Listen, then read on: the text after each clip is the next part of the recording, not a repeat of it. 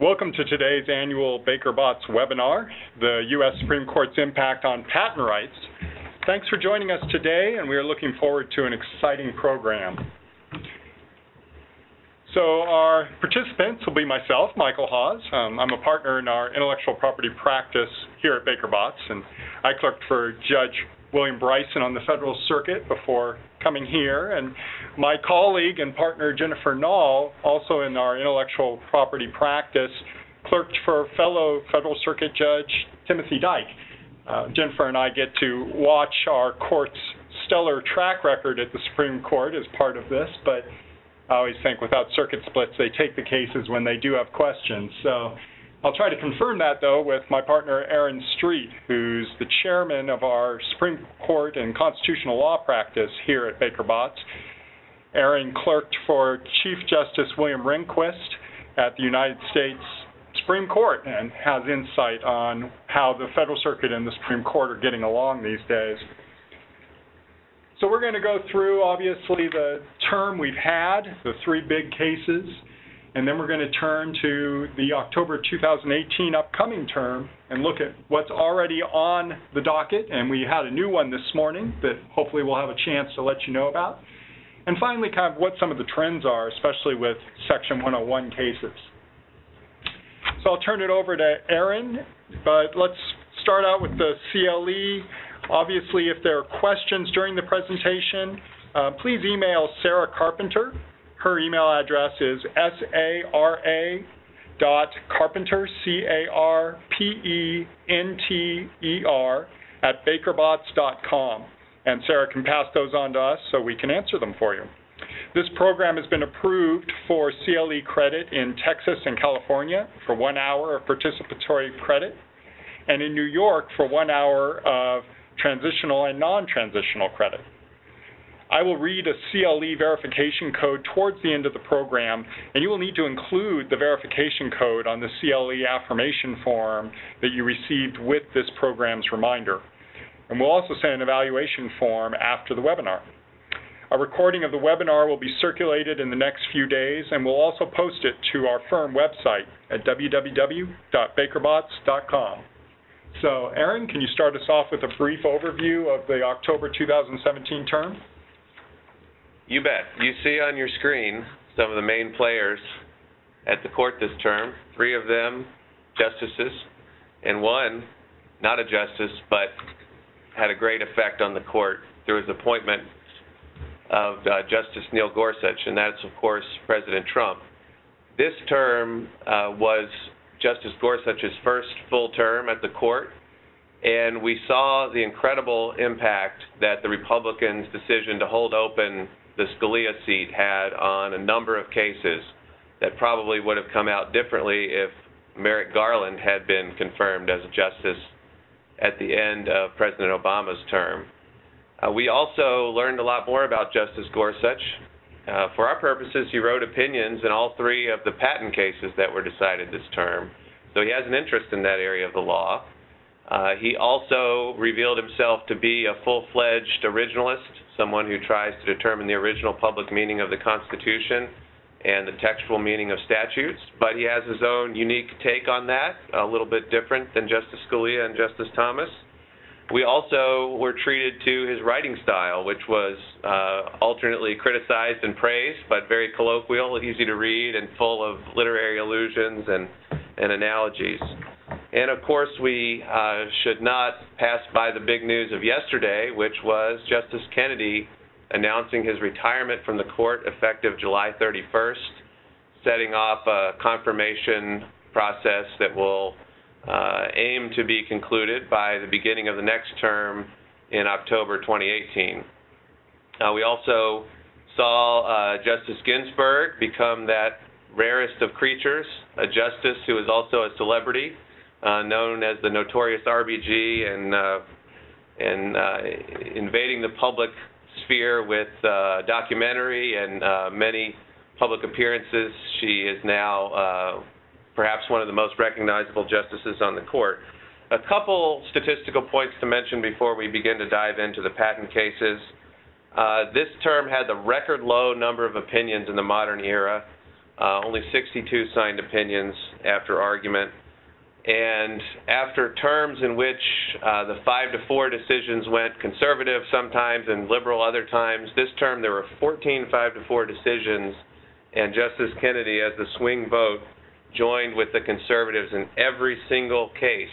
So this term he returned to his conservative roots before announcing his retirement. So now let's uh, move on with that overview out of the way to the IP decisions of this term, and we'll hand it back over to Mike.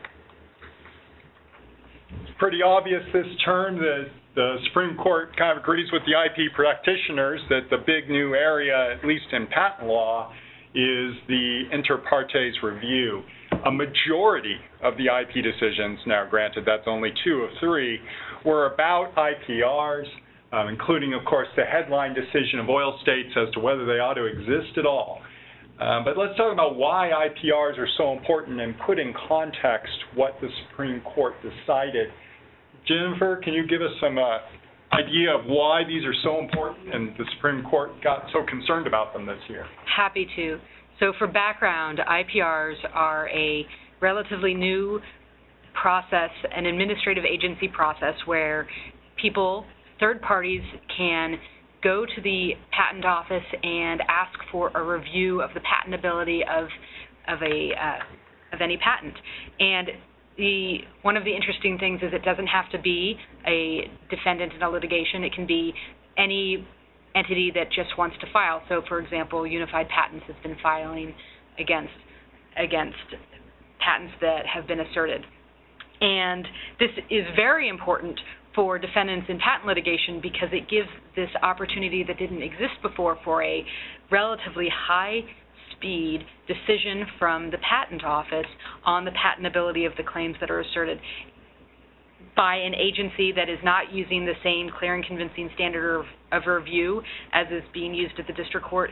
And you're not having invalidity determinations by a jury, you're having it done by, in many instances, former federal circuit clerks uh, people who have been practitioners for many years, uh, former partners of law firms who specialized in patent law, who are looking at these patents and the patentability um, and deciding very quickly about whether or not they should they should be held in unpatentable. So this next slide is a timeline that was promulgated by the PTO a couple of years ago that shows the that that timeline, the the the high speed nature of what you can get from an IPR, and so within the first, you file a petition, and within the first about six months, you get a petition on, uh, you get a decision on the petition, a decision on institution, and after institution, the PTO, the PTAB will issue a final written decision within 12 months absent special exceptions. And those special exceptions have been found rarely. Um, until oil until SAS issued, I think that it had happened two or three times total. And it has happened a few more times since SAS, as we'll get into in a few more slides. But basically, the, the takeaway is that if with an IPR, 18 months after you file a petition, actually, after you get a uh, filing date of a petition, you you will get a decision, uh, a final written decision, which can be very helpful if you have a race to um, to try and invalidate a damages case from a from a jury decision. So one of the big cases at the Supreme Court, of course, was the oil states case, which challenged the patentability of IPRs. And you probably guessed from the fact that we spent time describing IPRs which way that case came out. But interestingly, the Supreme Court took up another case, one that went to how IPRs should be conducted. So they had one case where they were talking about whether they should be there at all, and another case in which they talked about the details of how they were conducted. I think they actually released the opinions in a non-standard order just so folks would know that IPRs were still around before Justice Gorsuch could tell them how they were going to be conducted. But Oil States is the one about constitutionality. SAS Institute is the one about exactly what, how many of the claims in the petition would be involved. But let's talk about them in a little more detail. So oil states was, of course, a case, the reason it got to the Supreme Court was because the plaintiff had done well in the district court, but then had their patent claims declared unpatentable in the IPR. Of course, that's the whole reason they went to the Supreme Court, because if they could overturn that IPR result, then they could go forward with their favorable district court claim construction order. The Federal Circuit didn't agree with their positions, rejected the idea that IPRs were unconstitutional under Article 3 in the Seventh Amendment. But the Supreme Court gave them another shot when it granted certiorari. And the issue was are IPRs constitutional under Article 3, which is the article that says that only the judicial branch can do certain things, and the Seventh Amendment, which of course gives us our jury trial right in certain situations. Well, as discussed, the Supreme Court did decide with seven of the justices agreeing that it was a constitutional procedure, a constitutional use of Congress's power. Um, key issues in the decision, which was by Justice Thomas, were that the patents are public rights. Uh, they are not, unlike land, they are not granted in perpetuity. They're limited. They're also only granted on certain statutory grounds.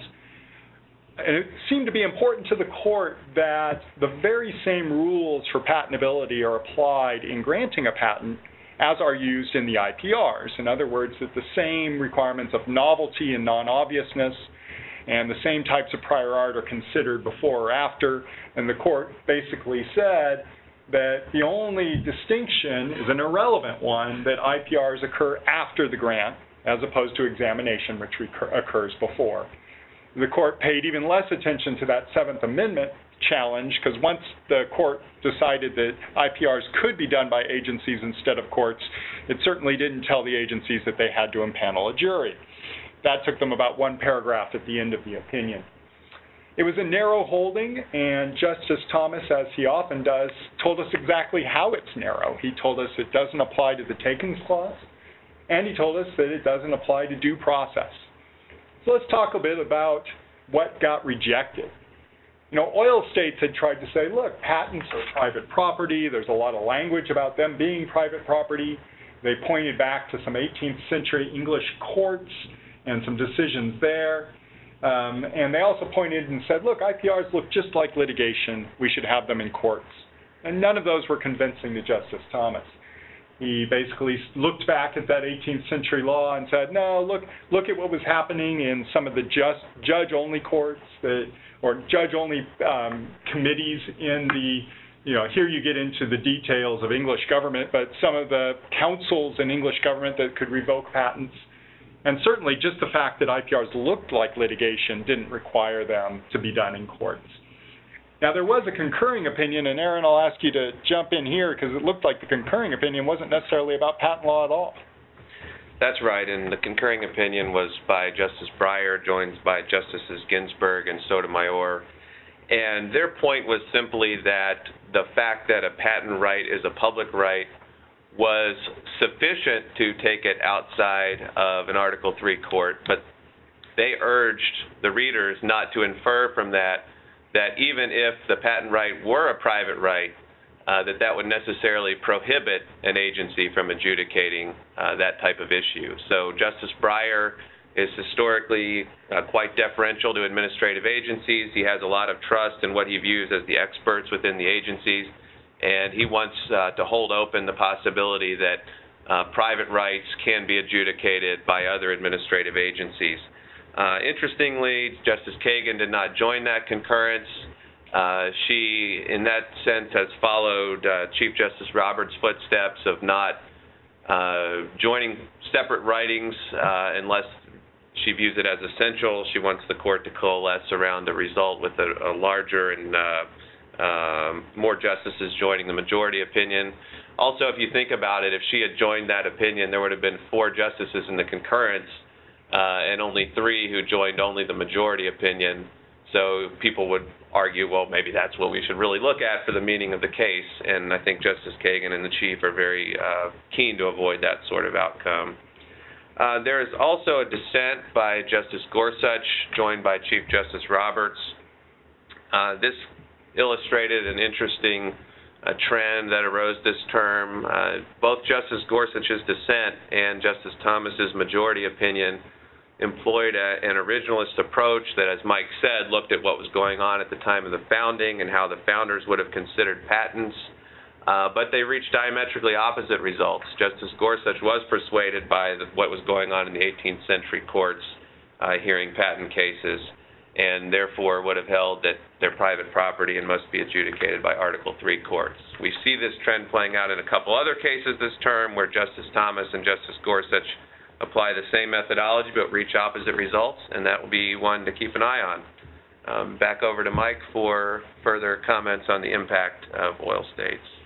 Well, first, let's let's start with the the points that Justice Thomas said weren't really addressed. So Justice Thomas left open for us some not perhaps compelling issues, but we'll see how it goes. The first one was the takings clause.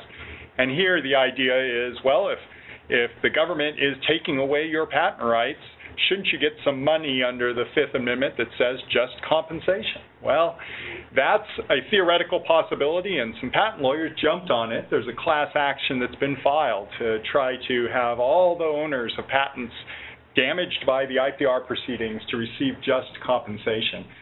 But there's some real problems with it. Uh, first of all, what is just compensation for a patent claim that should never have been granted? I mean, why why would it be just for you to get money for something that, frankly, the examiner just got wrong in giving to you in the first place? That's certainly one large hurdle that the plaintiffs are going to have to get over. Another is whether property is taken when the owner had the right to defend. Of course, IPRs allow patentees to present evidence and make arguments with regard to the original standard that allows a patent to even be granted in the first place. There's a tough argument in saying that this has been taken from me when what really happened, as the court already said in the majority opinion about the IPRs themselves, that the same standards are being applied both before and after the grant of the patent.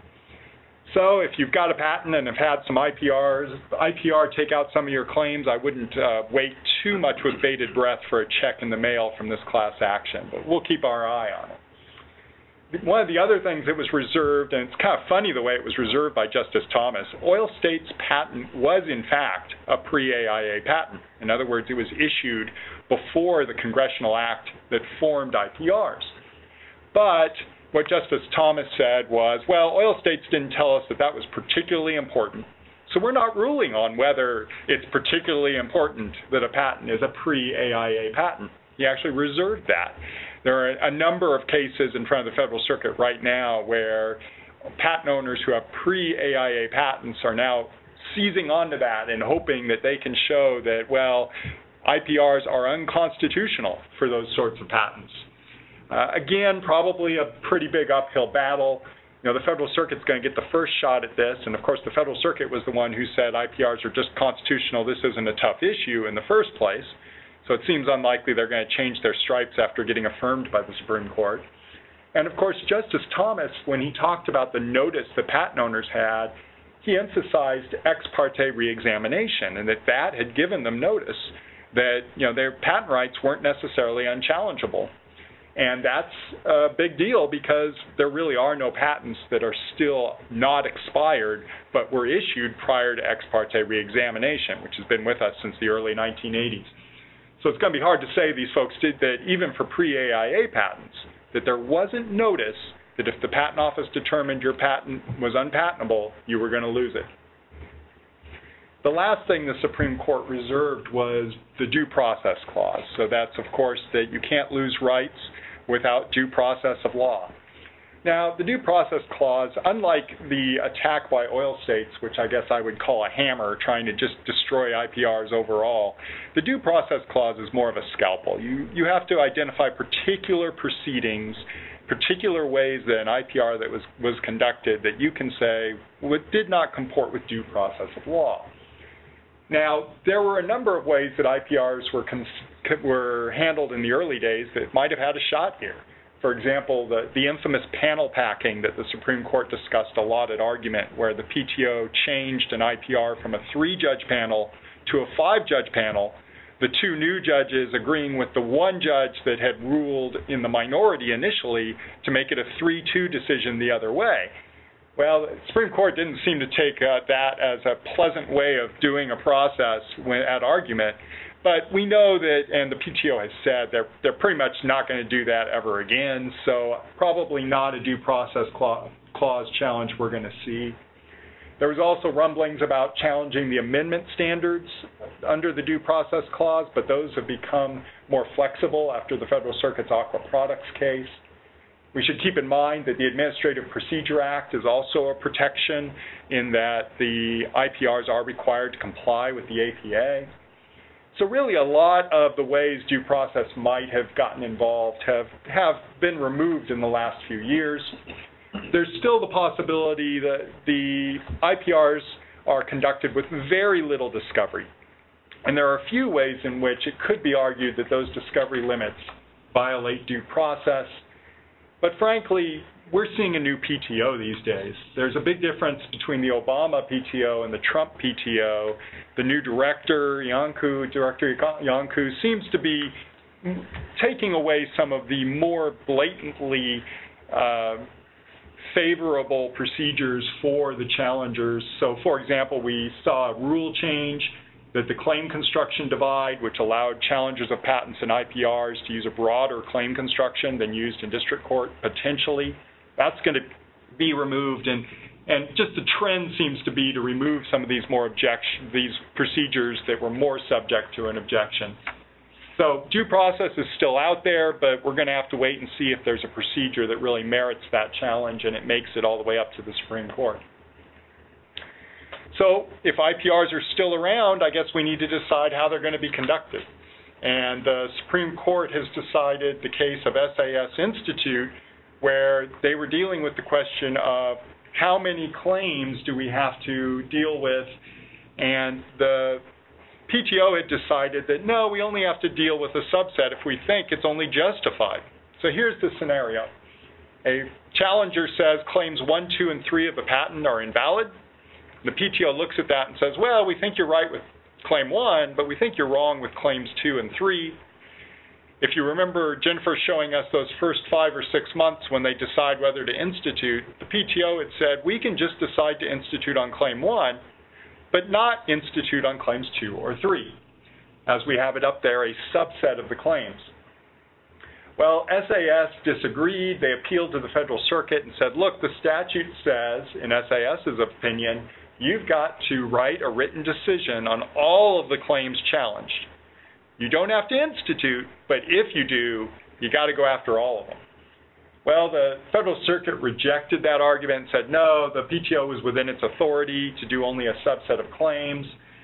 But certiorari was granted, and the Supreme Court took a look at this itself the issue being, can the PTAB, which is the administrative portion of the Patent and Trademark, Trademark Office that does IPRs, can they institute IPR proceedings on fewer than all of the claims challenged in the petition? Well, Justice Gorsuch got this one, and he wrote the opinion in a 5-4, kind of a rare occurrence for a patent law case to have that infamous 5-4 split.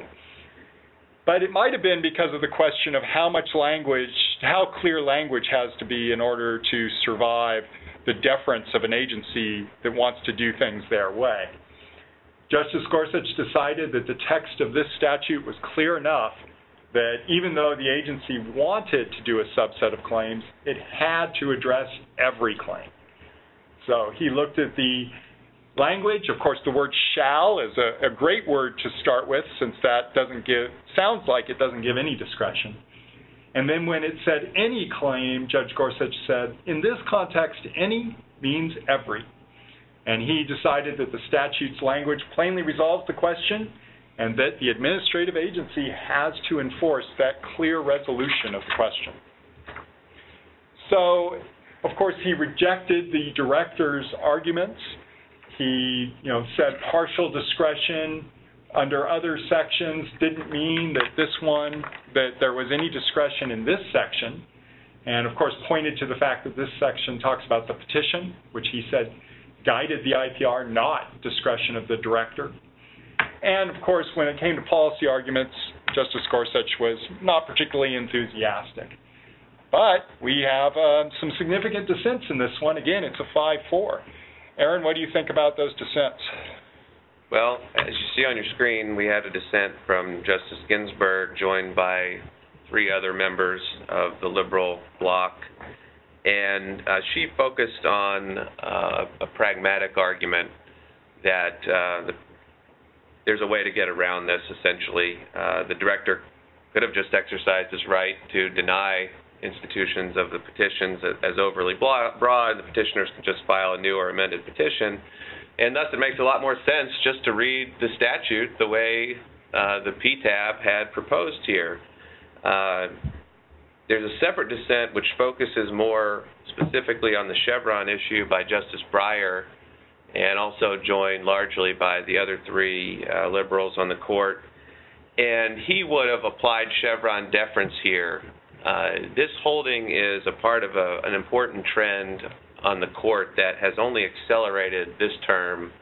Of course, under traditional Chevron doctrine, if the statute is ambiguous, then the agency gets to provide an, a reasonable interpretation to fill that gap in the statute. Uh, in recent years, that approach has come under some attack uh, on the grounds that it allows the agency to take over the judicial role of interpreting statutes uh, and that would be particularly true if courts are too quick to uh, declare a statute ambiguous. In other words, they don't work too hard before they throw up their hands and say, let's see what the agency thinks. So in this case, uh, Justice Gorsuch's majority opinion seemed to trim back the threshold ambiguity question uh, in a way that is more uh, restrictive of agencies. He said the question is whether the plain meaning is discernible uh, by the courts. So a little tougher standard than uh, clear and unambiguous. In later cases this term, uh, particularly the Pereira immigration case, uh, Justice Gorsuch again wrote the majority opinion, and he said the question is whether the statute is, quote, clear enough, unquote. Uh, then we're not going to defer to the agency.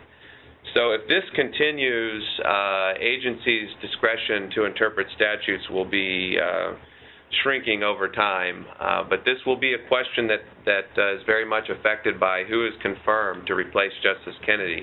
Historically, Justice Kennedy was in the mainstream on Chevron. He had uh, uh generally applied the traditional doctrine, but uh, the rising tide within uh, the conservative Federalist Society world is to be more critical of Chevron as an erosion of the separation of powers. Uh, so with that, I will hand it over to Jennifer. Shortly after the issuance of the decision in SAS, the PTO gave guidance, issued some guidance on how it will be dealing with with this new opinion. So future institutions will be all or none on, in terms of the claims. So either the when you file a petition, all claims in that petition will be instituted or not. The the guidance said the panel may also issue an order to institute on all um, grounds. So in the guidance, it's not clear that all grounds would be instituted. However, I have heard the chief, Chief Judge Ruschke, speak a couple times since then. And it sounds like the the PTAB is going to be doing all claims, all grounds from now on.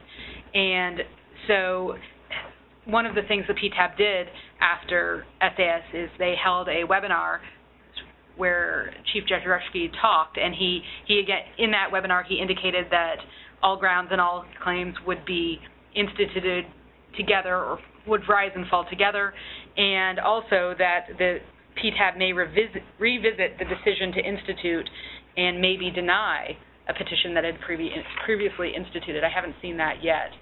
Going to the next slide, this is a slide from that webinar, and it divides up the timeline that I showed previously among before the decision to institute and after the decision to institute. And the chief in that webinar, where uh, the slides are available at the, the link at the bottom of the screen, the, the chief discussed what would happen with the PTAB ruling based on what part of the case your petition is in. So if it's before the decision to institute, the um, the decision will address all claims, all grounds. If it's after the decision, but before the patent owner response, the, um, the PTAB will issue a new, new guidance on that case, and it may delay the, the time when the, um, patent owner response is due. And the, the chief went through all of the different categories of, of time and how the, um, the PTAB plans to address each case individually depending on where it is in this timeline. The chief also said if we basically if the PTAB forgets your case and doesn't issue something, you should you should file a motion asking for for guidance and that the parties can decide to waive uh, the the requirement that all grounds are all claims if the parties both want that. Um, and also, something very interesting I thought was after the final written decision and before appeal, even if the petition for rehearing deadline had passed, you could file a request for the PTAB to give you permission to file um, a petition for rehearing based on this, and they would consider extending your deadline for the petition for. I thought that was very interesting and different. Um, and so, if you want more details, you can go to that website at the bottom of the page. So, the impact we think that that SAS changes the odds for motions for stay in a district court litigation, whereas before petitioners, defendants in that litigation would file IPRs and ask for stays of the whole case even when partial institutions happen. Now it's either going to be all or none. And so presumably all claims at issue in the litigation are going to be addressed by the PTAB or all claims won't be depending on what your petition is. And so we think that this means that more district court judges will be interested in in allowing stays and in um, granting stays because the estoppel effect of the PTAB's ruling in this petition will will affect all instituted claims and all so it will have more of effect and there there won't be as much uh, chances for disparate estoppel issues based on the different claims that are instituted versus not. Jennifer, I'm curious. I know some judges have waited until institution to rule on stay motions. Do you think this increases the odds that they'll rule on it just because you filed one, because they'll get an up or down quickly? I personally don't think that it will increase the odds that you'll get a stay before institution um, because it happens quickly, and if if it happens, then the judge can react quickly, and if it doesn't happen, there was no need for the judge to react at all. So I don't think it'll change the judge's minds pre-institution, but I think it will have an effect post-institution. If if all claims in that litigation have been instituted, it it is more of a, an incentive to um, to stay the case. And on the other side, for the PTAB, where a petition may have had one claim that looked like it had a reasonable likelihood of success. The PTAB would have instituted on that one claim. Now there's this chance that the PTAB has to address every claim in the petition, even when only one claim looks like it has a reasonable chance of success. And so there's now an incentive on the PTAB side, perhaps, not to institute those those cases where there would be a lot of work for a a small amount, of, a small number of claims, that where if the PTAB, if you are addressing 20 claims and only one is interesting, that might be a case where the PTAB, in its discretion, decides not to institute. And from the patent owner point of view, there, because all claims and all grounds will be instituted or, or not, the patent owners might be interested in having a different strategy for patent owner responses. So, whereas before, if you respond, you you show your hand to the petitioner and sh- and show what the problems are. Now um, you could respond and and get the P- PTAB to think that this isn't case worthy of their time because it all rises and falls together, perhaps. Um, but there's definitely different considerations that now have to go into the patent owner response. Um, and finally, there's this because all claims and all grounds are instituted, that will affect a patent owner's decision and strategy on amendments. I don't, we don't know yet exactly what these new institution decisions are going to look like, look like in mass? So if they're instituting all claims, is the patent owner going to know if um, which claims had a reasonable likelihood of success and which ones didn't? And so the amendment strategy is going to need to change, I think. Um, and even if the PTAB says we don't think that there was a reasonable likelihood of, of success on certain claims, that doesn't mean that the petitioner can't convince the PTAB that they were wrong. And so the amendment strategy also has to take that into account. Even if even if the PTAB says there, that these claims are not strong for um, for finding unpatentability, if if the PTAB changes its mind in the final written decision and the patent owner doesn't have a contingent amendment, that that's a problem for patent owners that needs to be considered. Next, I'm going to pass it back to Mike for WesternGeco. So this is certainly our, our most recent case of the three that we got this term, and it's not an IPR case, so we get to talk about something other than patent review and how the patent office ought to do its thing. WesternGeco versus Ion Geophysical uh, just came out, I guess, about a week ago. Uh, that one was on June 22nd. So this concerns extraterritorial damages, and of course the territory we're talking about is in the United States, the language of the statute. So what was at issue here? Well, the Federal Circuit, you know, had said that lost profits arising from prohibited combinations occurring outside the U.S. are unavailable. Now, so what we're talking about here is a particular type of patent infringement. And the statute you see there, 271F, was actually passed by Congress in response to a Supreme Court case that said, well, it's not actually infringement if you take all the parts of a patented device and you ship them right outside the U.S. border and put them together there. And Congress was like, hmm, and passed 271F. And in 271F, basically, if you ship all, or at least the critical components of a patented device outside the United States for combination somewhere else, that's still an act of infringement. And the question was, well, okay, does that mean that I just get a royalty, or do I actually have the chance to get my profits outside the United States on a U.S. patent? So the Supreme Court took it on. They granted certiorari. Now, this is the second time they've done that. This case, they originally granted cert and vacated and remanded to the Federal Circuit based on another case but the Federal Circuit came back with the same result, so the Supreme Court took it on a second time. And this is our, our second time. The, the underlying dispute concerns survey devices. So it's understandable, obviously, outside the United States, we're talking about things that are used on the surface or underneath the ocean to survey the ocean floor. So, Justice Thomas as IP guru. Justice Thomas is. Um, the one who, interestingly enough, got this decision as well. So that's two out of our three IP decisions where he has been the writer of the majority. Um, and, you know, good question why Justice Thomas has become such a prolific writer on these cases. I'm going to turn it to our expert. Aaron, why do you think he's such a prolific guy when sure. it comes to patent? Always happy for a digression for some Supreme Court inside baseball. uh, there's a lot of theories on this. One theory which has some legitimacy to it is that Justice Thomas is a very principled justice and he has a unique and, and uh, somewhat idiosyncratic approach to interpreting statutes and the Constitution that is not shared by most members of the court.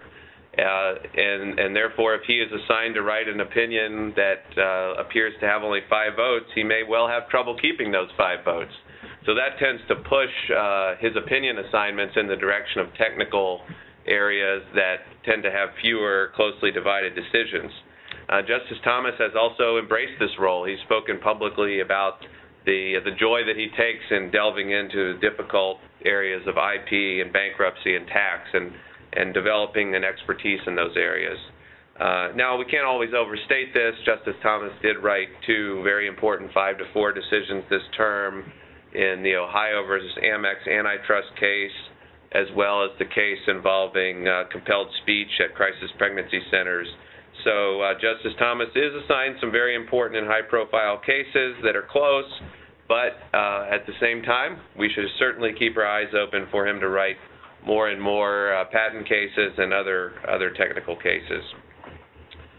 As far as the dissent in this case, uh, before we, we turn to, to what the case actually said, it's worth just noting that this was a bit of an odd couple in the dissent. Justice Breyer and Justice Gorsuch, uh, two justices on opposite ends of the spectrum.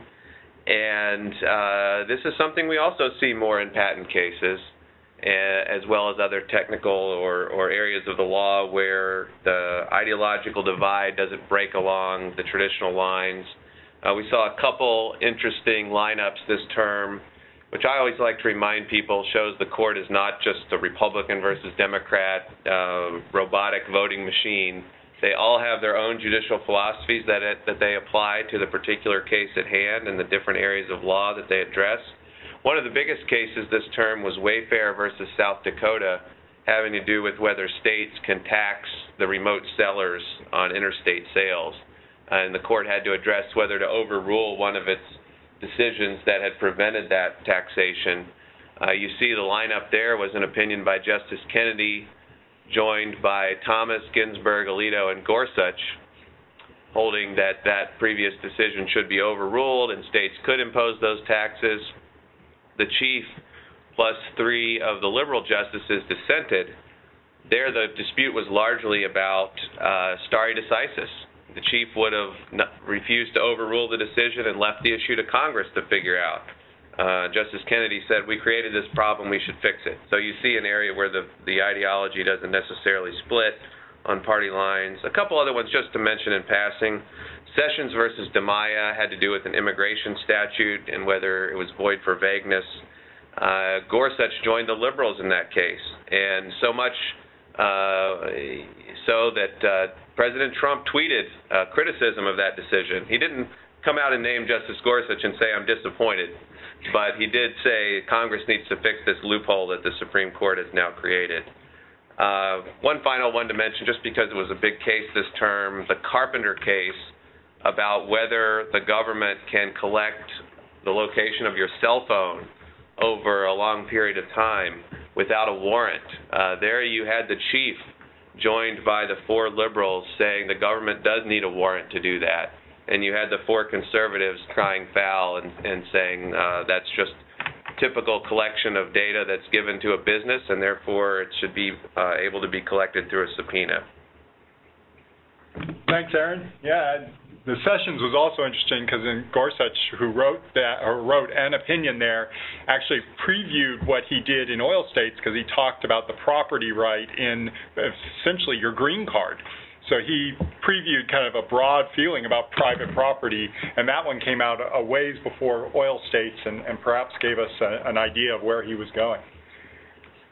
But let's talk about WesternGeco. I mean, the Federal Circuit got reversed. Uh, so they uh, they batted 333, which is pretty good in the major leagues, not necessarily so good in the circuit court leagues. Uh, know, they the question in the case of course, was whether the patent statute allowed the patent owner to recover lost foreign profits. Um, that'll be an important term, I think, in applying this. Uh, Supreme Court said, yes, they do. Um, importantly, the Supreme Court looked at a specific provision, which is the 271F2. So we're getting into the weeds there, but that's a particular type of infringement, which we talked about, where the components are put together outside the United States you know, 271F deals with both that situation and the situation where a patented method is performed outside the United States, but it is performed by some sort of machine or other device that has been in the United States and is exported. But Justice Thomas was careful enough to even say, no, I'm just looking at subsection 2 of section of F.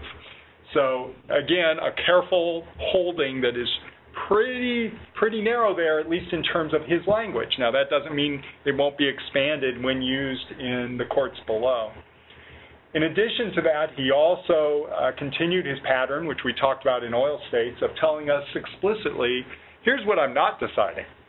In footnote three, he told us that he does not address the extent to which other doctrines, such as proximate cause, something that the tort lawyers know well, could limit or preclude damages in particular cases. So that will probably be something taken up by all the defendants who face this sort of lost profits claim that no, there's no proximate cause for those lost foreign profits, and, and we'll see some back and forth probably developing that law going forward. Finally, one big area that's probably going to be important in the application of WesternGeco is whether it ends up having a role with one with 271B cases. That's induced infringement, where one party convinces another party or encourages them to do something that infringes the patent. And this is pretty important because a lot of times companies will have a patent where their customers are actually doing the thing that the patent talks about, but they don't want to sue their customers. They want to sue their competitors. So what they do is they sue their competitors saying, you induced your customer to do that bad thing. Well, the Federal Circuit has some law talking about how you can have extraterritorial means that induce acts of direct infringement. So the question will be, and I'm sure parties will argue, well, WesternGeco tells us that infringement that includes foreign acts or impacts outside the United States can result in foreign lost profits and we can recover those. That'll be a battleground. It's a it's a, actually much more often do you see cases with inducement claims than the types of claims that come under 271F2.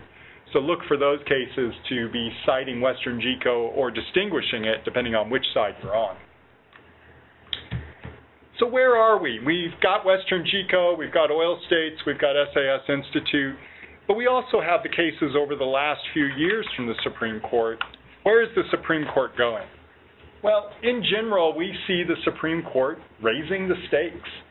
The Supreme Court has really said in their cases, well, a patentee is risking a lot by bringing their patent into the courtroom. First of all, the other side can immediately file an IPR and under SAS Institute, if that IPR gets granted, all of the claims are going to be in play. Under oil states, it's constitutional to do it the way it's being done, no jury, no court. So, you know, patentee is facing more risk than they might have faced if the Supreme Court had decided the other way. On the other hand, the Supreme Court has also raised the stakes on the other side. They've said in the last few years that there's a lower bar for getting attorney's fees. That was the Octane Fitness case. They've said there's a lower bar for getting exemplary damages. That was the Halo case. And now WesternGeco is opening the door, we don't know how much, but certainly some, for lost foreign profits. So if you win, whichever side you're on, evidently you get to win big. If you lose, obviously the counter applies. So the Supreme Court has really taken what was already a high risk, high stakes game and made it higher stakes. So that's what we have this term, looking at it from the lens of the last few years. Now let's turn and look at what's coming up. Um, we have two grants actually. One grant from the, that has already been in, came in last week, and then another one this morning. So we'll see if we have time for that, but now we have our special occasion where we get to talk about the code that you'll want to write down to make sure you have CLE credit. The code for this CLE performance is 24319. So please write that down because we're not allowed to email it to you. 241 No. 3 24319. Thank you, Jennifer. I would have gotten in a lot of trouble if I got it wrong. 24319. All right. Thanks, everybody. And now we're going to talk about that first grant. Jennifer, can you tell us about Helsinn Healthcare? Yes. So this case is about what is prior art after the passage of the American Invents Act. So before the American Invents Act, 102, the the statute changed. Um, it, the American Invents Act changed 102. What is prior art? And before AIA passed, the statute said, as you'll see at the bottom of the screen, that a person is entitled to a patent unless the invention was on sale in this country more than one year prior to the effective filing date. And the AIA changed it to say the same thing, except it added this clause. Um, so the invention was on sale or otherwise available to the public. So that is the key. What does that mean? What does that change mean, and what does it have to do with the definition of prior art? Helsinn has um, the Helsinn is about a secret sale. So if you um, sell something to to somebody who is going to help you for perhaps make a ph- pharmaceutical um, get through the trials, and you have to sell it to them in order to get through the the the government's hurdles to get that approved. That is pre-AIA. That was a sale, as long as it wasn't for experimental use. And post-AIA, the um, Federal Circuit has said it's still prior art to the patent. And the Federal Circuit said this clause that was added, otherwise or otherwise available to the public, didn't change their pre-AIA law on what is prior art. There was nothing in the legislative history, and there was nothing in the in the plain language of the of the statute to say that this was a change to what prior art is. And but the um, the petitioner for certiorari says that they're wrong. That this basically otherwise that word has meaning and wouldn't have been put in there unless it was meant to qualify the rest of the um, the the list.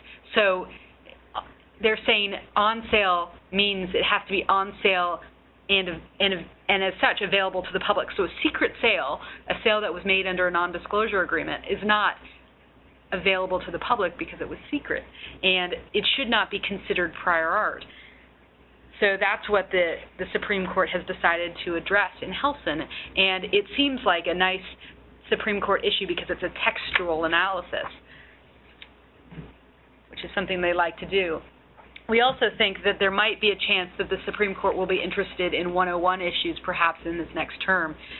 So Director Iancu testified before the Senate Judiciary Committee in April and and laid out an argument that the Supreme Court has added uncertainty and that more direction is needed and that basically asked Congress to deal with 101, but what this also does is asks the Supreme Court to deal with 101 by say, by saying that the director of the PTO is not happy with um, with 101 law and is begging for more direction. And uh, Aaron, do you think that's something that the Supreme Court would be interested in taking up based on this um, testimony? Supreme Court doesn't like to be criticized, uh, but as we've learned today, they do write their opinions very narrowly and I'm sure a lot of people probably cringed a little bit when I said Justice Thomas had acquired an expertise in patent law. I've lost a bankruptcy case in front of him. I might share your opinion on that. Uh, but Chief Justice Roberts has been very attuned to at least granting cert in patent cases. The bad old days of the 1990s when the court took one patent case every two or three terms have now morphed into three cases or more per term. And I think that's because the chief realizes how important IP is to our economy and to our judicial system. So the court is policing the federal circuit. It is interested in issues that the PTO and the federal circuit find important. So we certainly should uh, keep our eyes open for this issue. I'm sure the director will be looking for cases to tee up if, uh, to the extent that's within his control, and uh, private litigants will be looking for good vehicles to further interpret uh, Section 101. And actually, uh, we, we, because it happened just this morning, we don't have a slide on it, but I do want to talk a little bit about a case in which the Supreme Court granted cert just this morning that is a copyright case.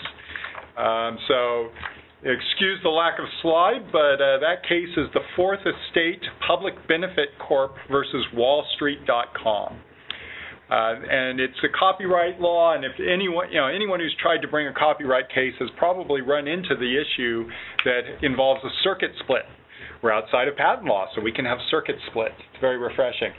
Uh, in this situation, the question is how much you have to have with respect to having registered your copyright in order to bring a case. So there's a portion of the Copyright Act, it's 17 USC 411A, that requires you to have gotten to the Copyright Office in some way, the circuits have different feels about what that requires, in order to file your copyright infringement case. So on in one corner, we have the Fifth and Ninth Circuits an interesting combination. Having said that, well, if you have delivered the required application and the deposit and the fee, you're good to go. So you don't have to wait on the bureaucracy of the Copyright Office to actually get done. You can do that and go ahead and, and file your copyright case and you match the requirements of 411A. However, in the other corner, we have the Court of Appeals for the 10th and 11th Circuits. So those circuits have said, no, you actually have to have the Copyright Office act on the application. Your copyright needs to be registered, and that requires an actual act by the Copyright Office. Now, this used to be, frankly, a much bigger issue like 30 years ago. It's, now it's an issue of days rather than an issue of weeks or months but it still can be very important. Often a client will have a copyright infringement that is a reputational problem or that they want to nip in the bud before it spreads in this day of viral communication on the internet. So this question of days can be really important and we're going to see where we sit. You know, a lot of companies are now registering copyrights that they see as uh, covering information that's important that they'll need to act on quickly because of the fear that the person who might be infringing would be in the 10th or 11th circuits where they have to be registered to proceed. If the Supreme Court agrees with the 5th and 9th circuits, we might see companies able to dial back the amount of copyright registration they do because they know they can put the materials together, get them to the patent to the copyright office door and be able to file their lawsuit. But we'll see how that one develops in the briefing and uh, get to talk about it next year and actually have a copyright case. That being said, we now move to the questions part of our panel uh, and to address anything that has been brought in, but I'm seeing that we do not have any questions, so uh, evidently I'm glad that we covered everything folks were interested in. And thank you for attending, and I hope uh, you were instructed and entertained and found something useful in our commentary on the Supreme Court this year. We're looking forward to seeing everyone next year and letting you know what they're up to up there in D.C. in June of 2019. Thank you, everyone. Bye-bye.